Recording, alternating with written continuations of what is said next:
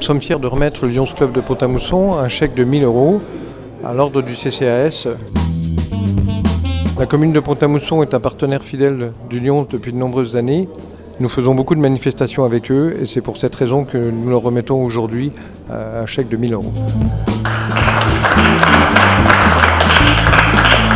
la soirée de cette année, les bénéfices seront pour le Téléthon.